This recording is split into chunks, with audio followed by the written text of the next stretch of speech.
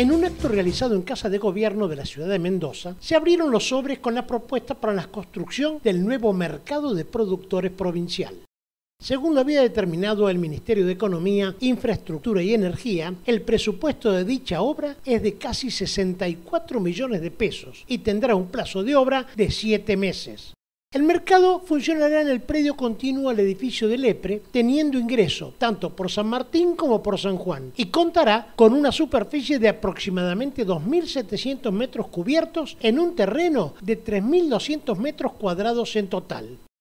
El objetivo de reactivar el mercado de productores tiene que ver con el fortalecimiento y el acompañamiento en el desarrollo del pequeño productor local.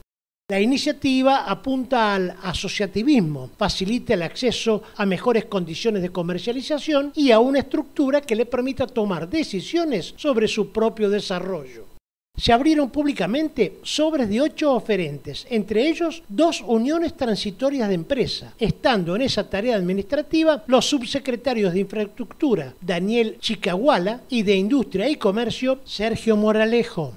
Las propuestas serán evaluadas por el Consejo de Obras Públicas, quien determinará el adjudicatario de la obra.